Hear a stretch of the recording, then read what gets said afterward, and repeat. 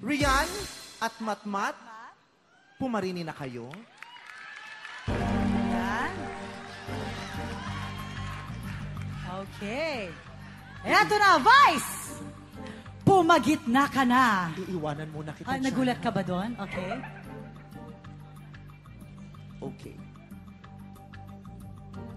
Sa puntong ito ay alamin natin kung anong panig ang mapupunta sa inyong dalawa.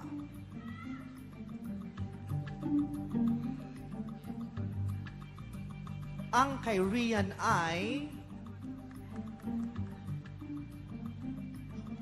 pasilip dahil walang nakasulat sa harap.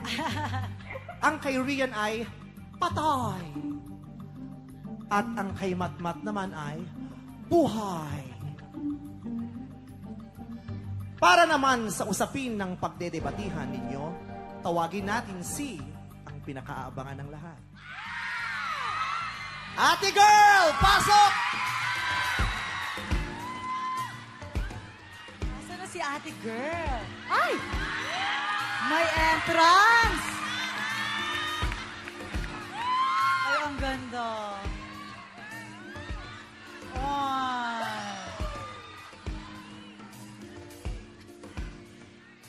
Jackie!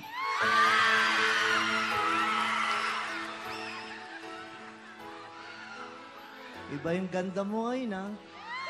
Siyempre, naghanda ako para naman kahit papano bumagay ako sa'yo. Mukhang bagay na bagay tayo ngayon, eh. Mukhang prom night mo, ako yung principal ng eskwelahan. Pero, mm, nagustuhan mo ba yung suot ko? Oo, maganda. Namumukadkad yung bulaklak mo. Ikaw din eh. Kitang-kita ko yung bulakla mo. Ang liliit nga lang. Pero madami. Umusbong lang. Parang nagnaknak na bulaklak ka. Pero ang ganda mo talaga ngayon.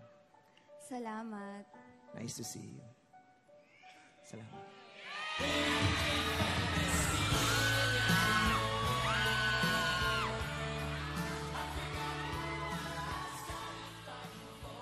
Ang usapin na pagdedebatihan ninyo na may panig na buhay o patay ay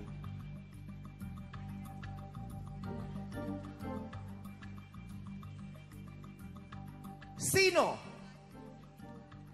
ang mas mahirap make-upan? Patay o buhay? Dahil ikaw, Rian, ang nakakuha ng A1, ikaw ang mauunang magsasalita. 60 seconds ang kabuuan ng debate. 15 seconds sa unang turn. Pagkatapos mo, ikaw naman, 15 seconds. Tapos ikaw ulit. Tapos ikaw ulit. Rian, ang panig na napunta sa iyo ay patay. Your timer starts now. Bilang isang makeup artist, mas mahirap make-upan ng patay. Bakit mga kaibigan? Dahil wala na itong pores. Hindi na siya kinakapitan ng makeup. At palagi natin katandaan, ang emosyon na bumabalot sa taong nagme-makeup ito ay sadyang napakahirap. Dahil sa bawat kuskus ay may batid Tapos na ka na. Ako man din ay makeup artist. Holistically lahat ng kanyang nervous system ay gumagalaw. May mga taong pinapipikit mo, walang pakialam sa'yo. Dilat ng dilat, kaya wala kang magawa. Napakalikot. Mahirap mag-makeup ng buhay. Dahil sila ay walang pakialam. Stop! Rian, Mas mahirap mag-makeup ng patay.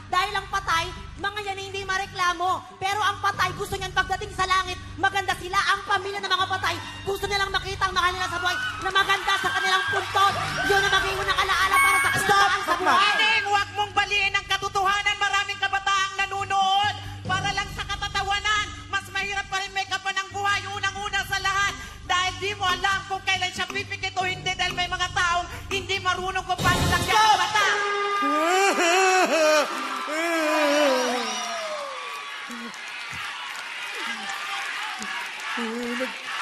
nagkawatak-watak na naman ang isang kabaklaan dahil sa puntong kung sinong mas mahirap ang make-upan.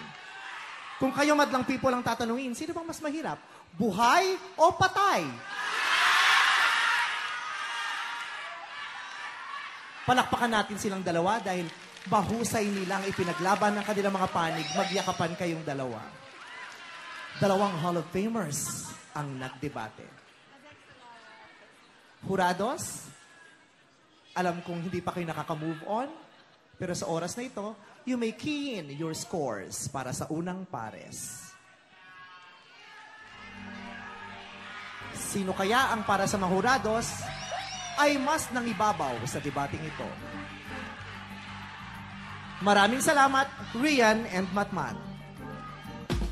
Good job, girls.